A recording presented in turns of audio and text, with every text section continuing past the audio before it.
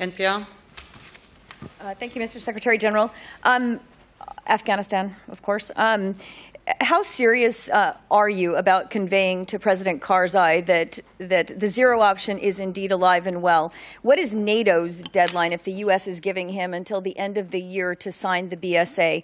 Um, he doesn't seem to think that this is a valid threat, regardless of your increasing reminders that, that there's a big financial cost to come with this too, with international aid. And was President Karzai invited to come to this meeting? You've got the foreign minister and the, and the interior ministers coming, but isn't he really the one that needs to um, needs to get the message? Thank you. On the latter, I think you, you know uh, the answer that it is a foreign minister's meeting, and this is the reason why it is the foreign minister, the acting foreign minister, uh, who is uh, invited. And by the way, uh, we have also invited the Minister of Interior uh, because he's responsible for security uh, in the run up to presidential elections um, in Afghanistan. So, this is the reason why those ministers are the in, invitees.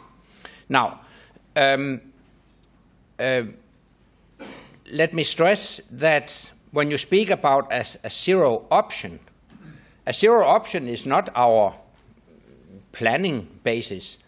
Uh, but of course, the so called zero option can be the unfortunate outcome of decisions or non decisions uh, in, in Afghanistan. Let me reiterate that we are prepared uh, to um, stay in Afghanistan beyond 2014 with a mission to train, assist, advise uh, the Afghan security forces.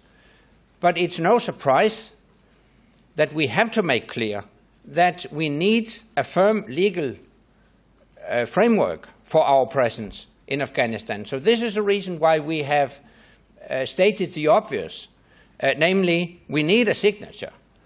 Um, we need, first of all, a signature um, on the bilateral security agreement between the US uh, and Afghanistan. And next, uh, we need a signature uh, on a status of forces agreement um, that will provide uh, the framework for a NATO led presence uh, in Afghanistan beyond 2014. I, I would be reluctant to, to uh, fix an exact date, uh, what, what is the exact uh, deadline, but it is a fact that we need some time uh, to plan properly that deployment after 2014. And in the case that there is no legal framework from the 1st of January 2015, we also need some time to plan to withdraw personnel and equipment. I mean, this is just to state the obvious. It can't be a, a surprise. Um, and um, I, I, think that message um, has been delivered in very clear terms uh, to the Afghan authorities. Associated Press. Hi, Mr. Secretary. Could you um, explain what you think is the reason behind, and President Karzai has has made these expressions. And could you tell us concretely today what uh, the ministers have decided in terms of trying to encourage him to sign this uh, the, the bilateral uh, security agreement? Um, Afghanistan will be discussed tomorrow uh, in in the ISAF uh, meeting, and that discussion will take place. Uh, in the presence of two uh, Afghan ministers. So that will be the venue for delivering uh, messages from NATO and ISAF ministers to the Afghan government. And I'm not going to guess about motives. Over there. Mentioned Libya. Could you tell us um, what you mentioned that uh, there's going to be some uh, some some changes. Um, the requests of support are taking shape there. Could you just elaborate on what that means exactly? Yeah, uh, some some months ago, actually uh, last spring, uh, we received a request uh, from the Libyan government to um, assist Libya in um, developing a security architecture. We have uh, looked closely into that, and in collaboration with the Libyan authorities, uh, we have now provided a platform for uh, providing such um, uh, assistance. Um, uh, and um, um, we are prepared now uh, to uh, assist uh, the, the Libyan uh, government uh, Uh, in uh, developing uh, their security architecture. we have established a small team that will work with the Libyan authorities and in close uh, coordination with other actors, international organizations, as well as individual nations, um, uh, in order to ensure uh, no duplication and complementarity in the way we assist uh, the Libyans. Radio Azadi. Thank you so much, Excellency. Mustafa Basharat from Radio Free Europe, Kabul Bureau.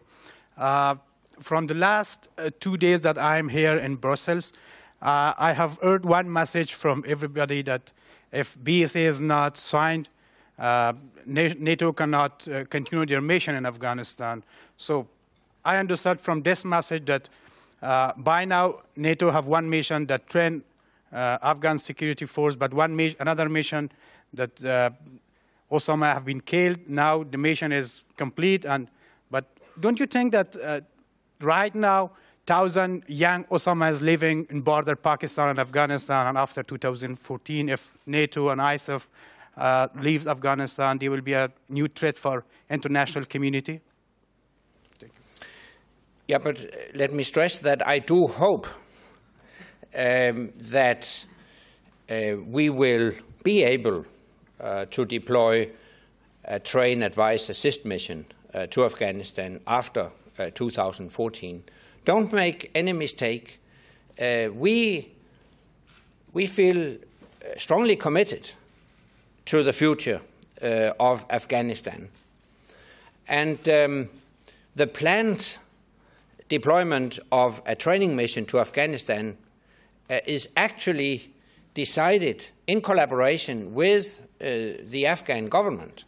Uh, we made that decision at the Chicago summit in May uh, 2012. Car uh, President Karzai was there.